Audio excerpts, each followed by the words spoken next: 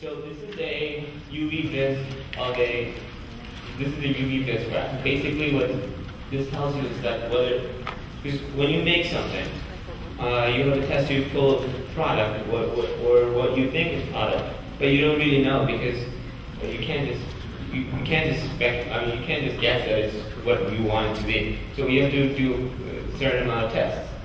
So you take some of that product and you put it into a cuvette and put it into a solvent that it likes.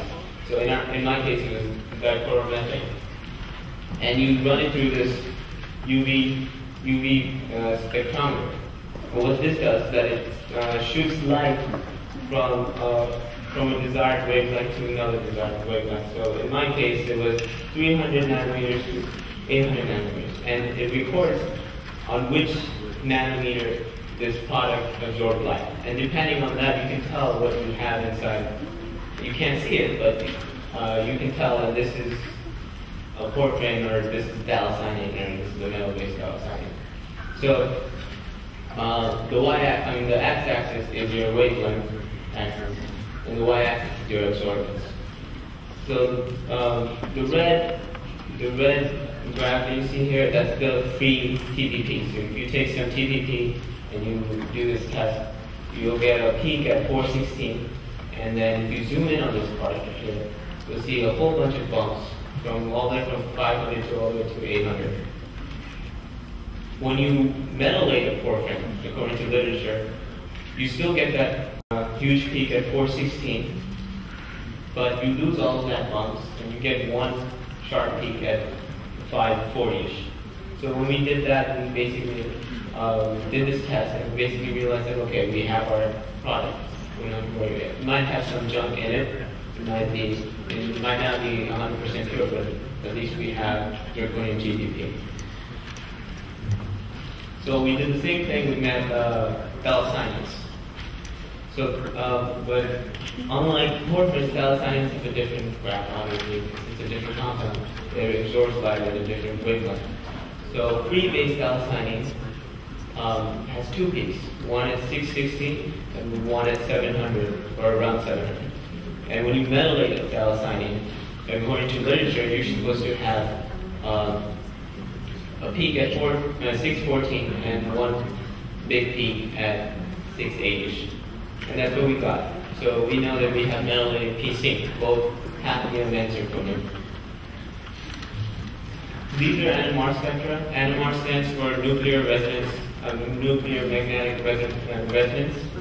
And basically what NMRs tell you, uh, when you, you put a product in, in the NMR machine, and basically it gives you, this is a proton NMR, so basically tells you exactly where these, where the proton, um, hydrogen bonds are, basically. So all of these peaks, every one of these peaks represent one hydrogen bond on your product.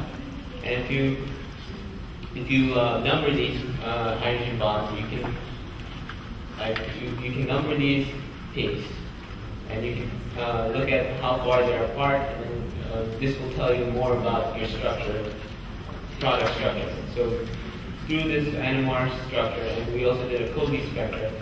When when you combine those two data together, you can kind of come up with an image like this. So this is uh, this is my polyester that yellow ball inside of it is the metal. In this case, it was zirconium. And then this is your. So this is a computer-generated picture. It's not a real picture, but I showed you earlier. Porphyrins absorb light at 420, around 400 nanometers. So that's that's all the high-intensity lights. Um, wavelengths at 420, that's basically all the blue lights, blue, purple, even some green. So porphyrins absorb all of that light.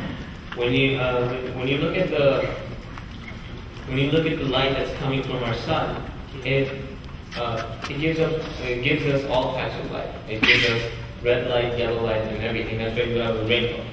Um, most of what it gives us is red. So you want to absorb all the blue light because those are the high energy lights. But unfortunately, there's not that much of it. Most of that what we get from the sun is red and yellow light. That's why we started working with port, I mean, phthalocyanines, because phthalocyanines absorb light at a higher wavelength, which uh, around six, from 650 to 700, that's mostly the red light. That's why uh, when we make this, these uh, dyes, these solar cell dyes, we want to somehow put, the, put a mixture of uh, and phthalocyanins, but maybe have one slide that's porphyrin, and one slide that's phthalocyanine or something like that. So these are some of the pictures uh, of the nanoparticles, the TiO2 bonded with the porphyrins and the phthalocyanins. So this side is the porphyrin, this side is the phthalocyanine. So as you can see, uh, uh,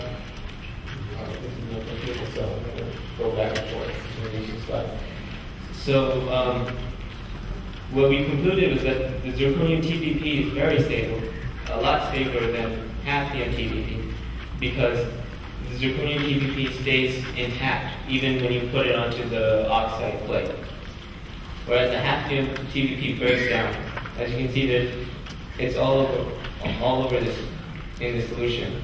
And here, the zirconium TPP uh, falls down, and this is all centrifuge, by the way. And then when you dry this, uh, when you dry this, this is, uh, we didn't even bother with the hafnium TPP because it never worked. So when we dry this, this, this is what it looks like. This is basically what will go on top of the cell. So this is your transparent glass. This is your titanium dioxide or your porphyrin on top of it. So we did the same thing with uh, phthalocyanines. We realized phthalocyanines are a lot more stable than uh, porphyrins. Um, phthalocyanines are incredibly stable compared to porphyrins. As you can see, zirconium, whether it's zirconium or hafnium, doesn't matter. They're both very, they very, uh, they load onto the TiO2 dye very, um, very strongly. And when you make the plates, then there, it, it's not a comparison. It's, if you add more titanium dioxide, it will, it will uh, make this uh, solution very colorless. So that, that's basically what it is. So as I said earlier, uh, metal phthalocyanines are very uh, stable compared to the porphyrins. And however, zirconium porphyrins are a lot more stable than the hafnium porphyrins. And we can conclude this from the pictures that we took. So for my future studies, um, currently, currently we're just writing, but I do want to look at uh, crystal structures of these things. I want to look at the zirconium porphyrin palm crystal structures. These are hafnium palm crystal structures. And basically, if you have a crystal structure, you can put it under a microscope and you get real images. These are real images. The, the images that I showed you, the, the, the diagrams that I showed you from the NMR spectra, those are all computer generated. But this is a real image. So when you have a real image, it's very easy to convince other people uh, that the product you're talking about is actually the product that you have. Uh, and I want to do this with uh, zirconium porphyrins. I mean, I have um, zirconium porphyrins and uh, metallated PC, both hafnium and zirconium.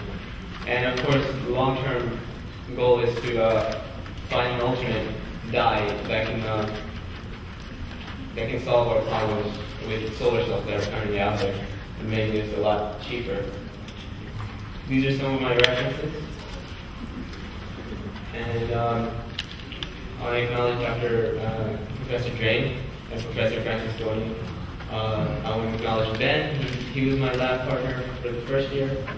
And Ivana, she was lab, my lab partner for the second two years. Um, Alex, Dr. Al, Alex Fowler, I used his thesis for most of my work. Um, Dr. Sat, of course, and NHCS, and all of you guys. Thank you.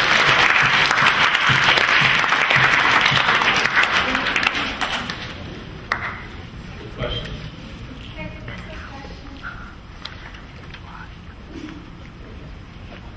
Okay. Uh, how much better in terms of negative is these uh, blue dye or the red dye? Um, the blue dye, um, the blue dye uh, absorbs the red light, so it absorbs the, low energy lights that, that are coming from the sun. But uh, our sun emits mostly red and yellow light. So although we didn't look at uh, transients absor- uh, absorption because this is a very uh, chemistry-based project, but I'm guessing because our uh, sun emits more red light, the alkynes, which are blue, they absorb most of the red light. They would be more energy efficient compared to the cortex, which absorb the blue light. Yeah. Conclusion. Uh, Thank you, Rick. I'm so oh, much. Sorry, I'll just